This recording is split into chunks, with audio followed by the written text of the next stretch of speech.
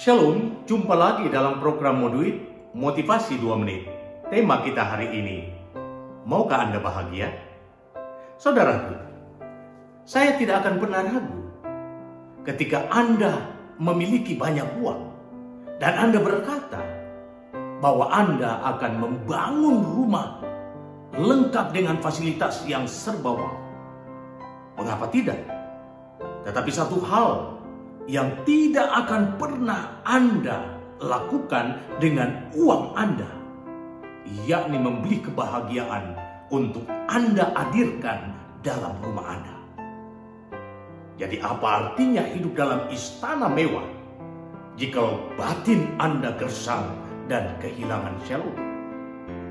Jujur kita harus akui bahwa memang terkadang kita kehilangan orientasi hidup yang benar saat ada dalam kelimpahan. Kita cenderung melupakan Tuhan dan lalai pada perintah dan peringatannya saat kita berada di atas puncak kesuksesan. Padahal yang ada dalam genggaman kita hanyalah sementara dan kelak akan raib entah ke mana. Boleh jadi raib karena pencuri, karena penyakit, karena bencana alam, dan yang pasti karena kematian. Itulah sebabnya Tuhan berfirman agar kita tidak terpikat dan terikat dengan hal-hal bendawi. Tetapi hanya pada Tuhan saja yang memberikan segala sesuatu dalam kehidupan. Ulangan pasal 8 ayat 18 sangat tegas mengatakan, haruslah engkau ingat kepada Tuhan Allahmu, sebab dialah yang memberikan kekuatan kepadamu untuk memperoleh kekayaan.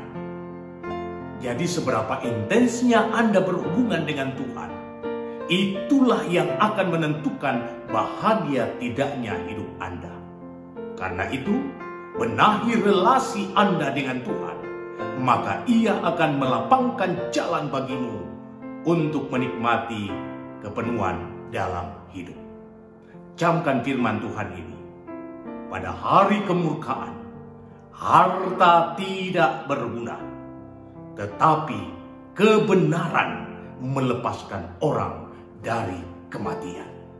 Amsal pasal 11 ayat 4. Selamat memaknai kehidupan imanmu. Tuhan Yesus memberkati.